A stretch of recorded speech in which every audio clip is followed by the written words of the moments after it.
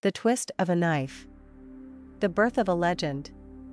Step into the world of the number one best selling Throne of Glass series by Sarah J. Maas with this collection of prequel novellas. Celaena Sardothien is her kingdom's most feared assassin. Though she works for the powerful Assassins Guild and its scheming master, Arobynn Hamel, she yields to no one and trusts only her fellow killer for hire, Sam.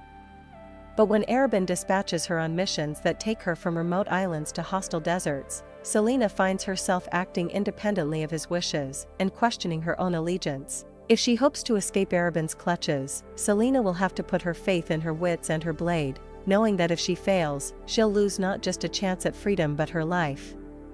A prequel to the New York Times best-selling Throne of Glass, this collection of five novellas explores the history of this cunning assassin and her enthralling, and deadly, world.